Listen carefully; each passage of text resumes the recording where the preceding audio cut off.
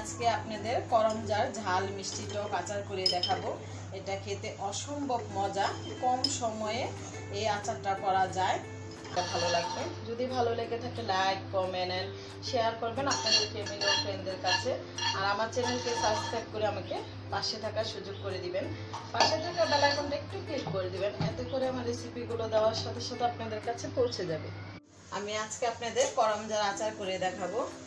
এগুলাকে করমজা বলে, আর করমজা গাছে কিন্তু বেশ ধরে, অনেক ধরে। আমি পাকা পাকা করমজা নিয়েছি এখানে, এক কেজির মতো হবে।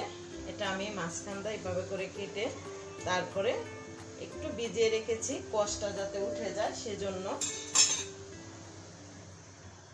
করমজার ভিতরে বিচি থাকে, সেই বিচিটা আমি একটা চামচের যে গোড়া দিয়ে এভাবে করে দিলেই উঠে যাবে। এভাবে করে আমি বিচিগুলো উঠিয়ে নিচ্ছি।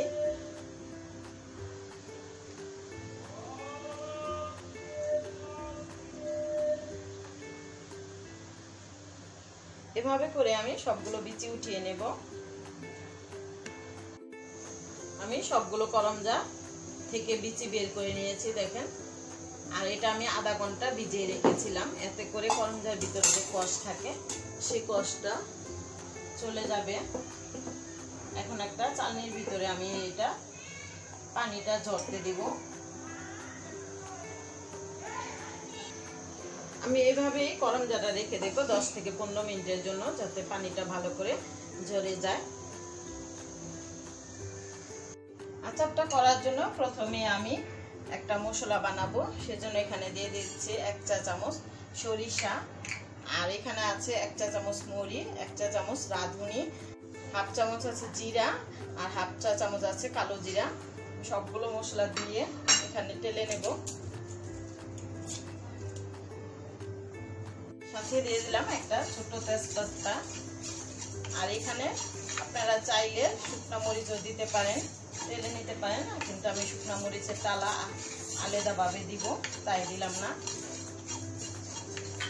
আর এখানে দিয়ে দেবো আমি এক চা চামচ ধনের গুঁড়া এটা। আর আপনাদের কাছে আস্ত ধনে থাকলে সেই ধনেটাও দিয়ে নিতে পারেন। এখন আমার টালা হয়ে গেছে মশলাটা। এখন আমি এটা ব্লান্ডারে ফাঁকি করে নেব। একটা কড়াই বসায় সেখানে দিয়ে দিলাম হাফ কাপ পরিমাণ সরিষার তেল। একটা গরম হয়ে আসলে এখানে দিয়ে দিব আমি দুই টেবিল চামচ রসুন কুচি। রসুনটা আমি থেতলিয়ে নিয়েছি একটু।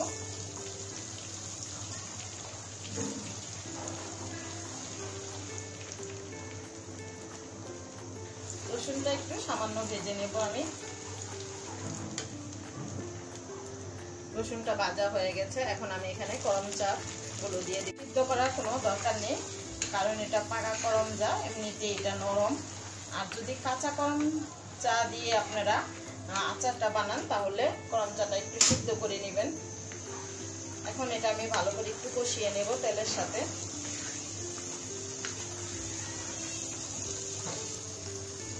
গরম চাটা মোটামুটি কষানো হয়ে গেছে। এখন আমি এখানে দিয়ে দেবো চিনি। চিনি হাফ কাপের থেকে একটু কম দিব, কারণ এই গরম চাটাটা মিষ্টি। তেমন একটা চিনি লাগবে না। আর যা, মিষ্টিটা আপনাদের পছন্দ অনুযায়ী দিয়ে নেবেন। আর এখানে দিয়ে দিব আমি যে মশলাটা করে রেখেছিলাম সেটা পুরোটাই দিয়ে দিলাম। আর দিয়ে দেবো এখানে স্বাদ অনুযায়ী লবণ। দিয়ে আমি এটা ভালো করে কষিয়ে নেব।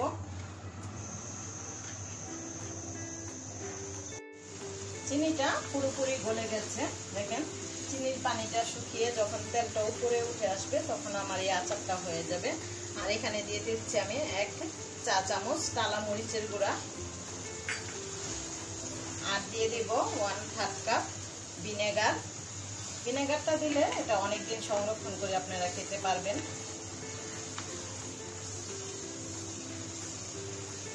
এখন তেলটা উপরে ওঠা পর্যন্ত আমি অপেক্ষা করি